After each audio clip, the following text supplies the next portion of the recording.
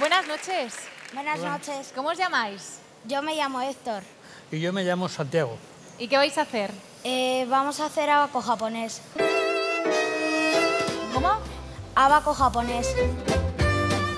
Muy bien, pues cuando queráis.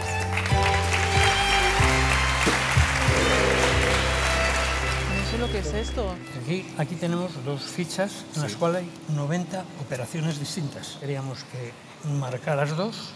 Venga, pues yo marco una y ella marca otra, por ejemplo. Exactamente. Me imagino que son dos hojas que salen operaciones matemáticas que él después debe calcular con el abaco. ¿Así? ¿Va bien? ¿Así Bien. es marcarlo? Bien. Risto seguro que busca la más complicada. Pues esta misma. Muy bien. ¿Sí? Pues vamos a Gracias. intentarlo. Pues venga, vamos al lío.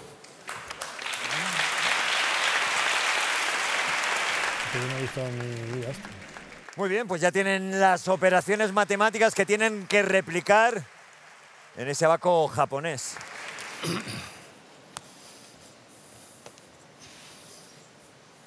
¿Preparado? Sí. Empiezo. 7.138.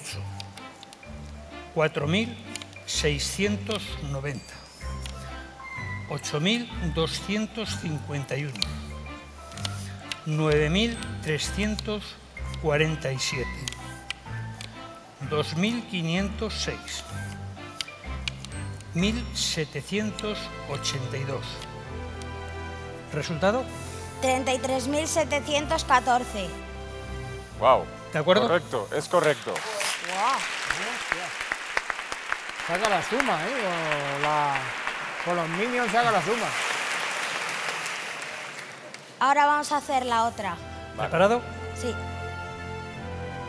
4.019 menos 2.357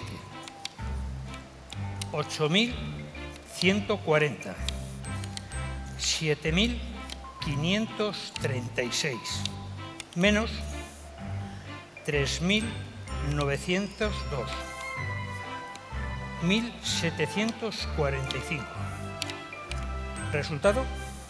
15.181. Es correcto.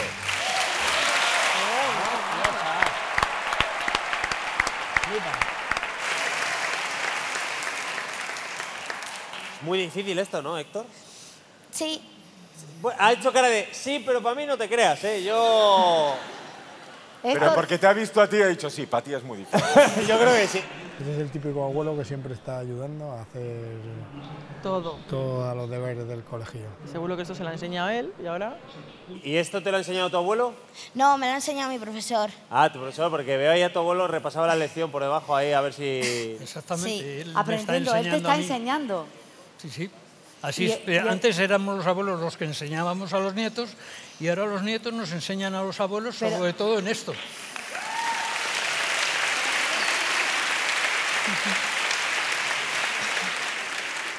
A mí me ha parecido original, curioso y como estudiante de letras, dificilísimo. Te doy un sí. Gracias.